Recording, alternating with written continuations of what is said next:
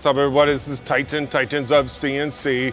Oh, for all the lovers of lathes out there, we got the new, the Puma 2600 SY Gen 2. And I'm gonna show you some of the technology that comes with this amazing machine all right? But before I get started, I just wanna tell you, if you love what we're throwing down, if you love the fact that we're taking CNC machining education and entertainment to the highest levels, please subscribe to our channel, hit the bell, and share these videos so we can bring awareness to our great trade.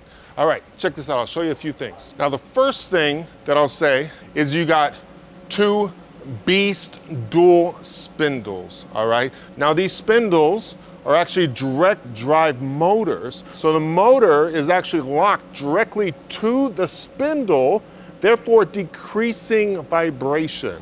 Also in this machine, we got rigid boxways, again, dampening the vibration and allowing us to just get after it with our cuts. One of the cool things to note on this machine is that we always change out our chucks, right? Because we wanna be efficient.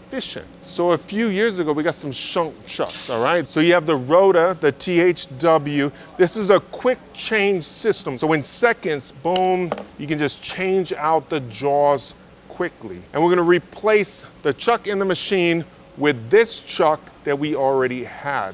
So on my second chuck, we're gonna bring in this six jaw chuck. This is the Rota NCR chuck. It is amazing. It has six jaws and it allows us to cut those aerospace parts with the thin walls because we can encompass the entire part, right? When you hold those thin walled parts, it's all about surface area contact. So having six jaws allows us to grab it all the way around so there's no spaces so the material can't actually move on you. You just grab it, boom, all right? So this is our main, this is our sub, and then check this out. Now when it comes to the control, this is the Fanuc I-Series control. And we're gonna do an incredible amount of tutorials teaching you all of it, from putting programs in to editing those programs, doing full setups, dry runs, all of it. We're gonna teach you every facet of this control for free. Now, when you look at parts, you can do all types of parts, okay? On this machine, we're gonna be running a lot of stainless, a lot of titanium, a lot of Inconel, Monel, crazy parts, right? When you look at our Titans of CNC Academy, you see the aerospace connections.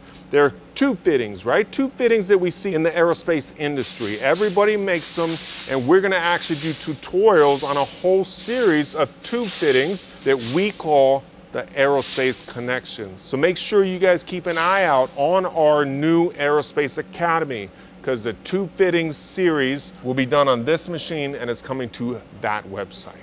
Now what's really cool with this is like when you actually look at this turret, there's 12 stations. It's standard, right?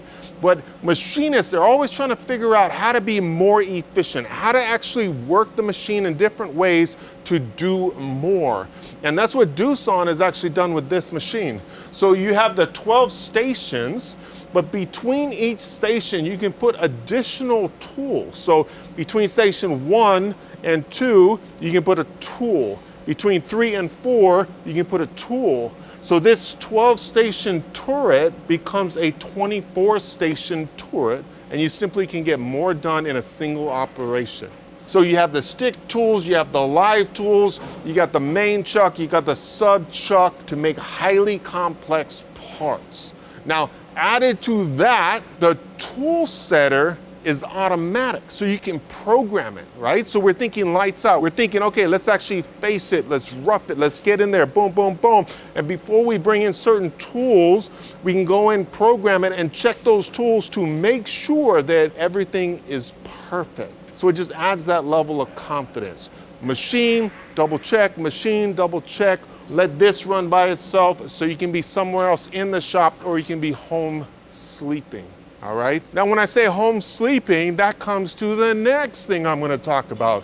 When that part actually comes out, when it gets machined, when it gets transferred, when you got the live tooling and you part it off, it can actually drop into this parts catcher. Bring the camera around and let me show you this. This is like trick.